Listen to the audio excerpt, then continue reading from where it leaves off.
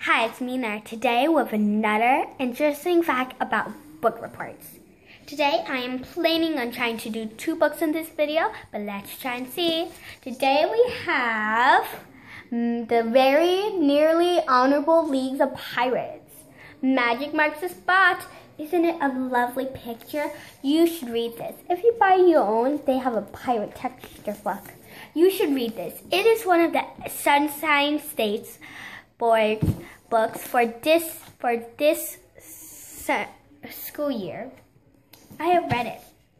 Wanted pirate crew established back freelance pirate seeking experienced crew members for upcoming upcoming voyage. Must be able to swashbuckle, swab decks, swill grab, fire canyons, and climb to the crow's nest.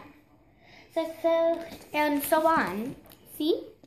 This book is fascinating, so amazing, so spectacular. You have to read it.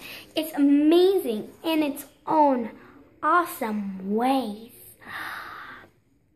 It has many fascinating tales of her adventure.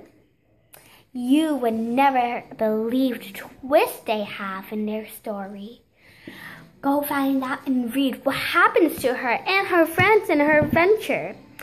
And our next book I'm about to re read, Rump, aka Rumpelstiltskin, the true story of Rumpelstiltskin.